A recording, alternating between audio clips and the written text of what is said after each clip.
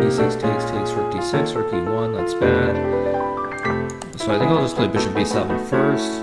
If he plays c5, I'm happy, then I'll go bishop a6. So what I was, the line I was talking about was c5, knight c3, bishop b7, knight d5, bishop d5, cd5, knight d4, trying to win the pawn on d5, d6, cd, ed, rook d6, and then he had rook fe1 because if king f6 there's knight e4, and king f8, then, then my king and my rook are passive. I'm sure most of you just didn't catch anything that I just said, but um, there's my there's my.